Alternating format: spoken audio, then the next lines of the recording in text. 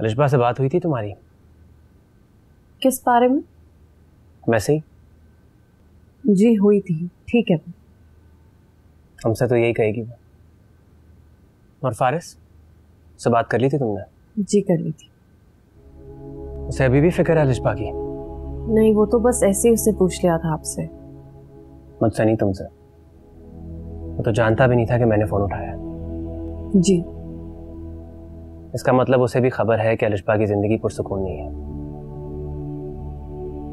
एक हम ही है जो अनजान बने बैठे हैं। नहीं जमान उससे कुछ नहीं मालूम। उसका तो अलिशबा के साथ कोई राबता भी नहीं। आई नो अगर होता तो अलिशबा की परेशानी के बारे में तुमसे क्यों पूछता? खुद ही उसे कॉल कर लेता। जमान उसे वाकई बहुत फ़िक्र रहती है अलिशबा की। हैरत है। समन जैसी बददिमाग बीवी के होते हुए उसे अलिशबा की फ़िक्र है। समान मैं उसे बहुत समझाती हूँ कि वो अलिशबा के बारे में सोचना छोड़ दे। बिल्कुल।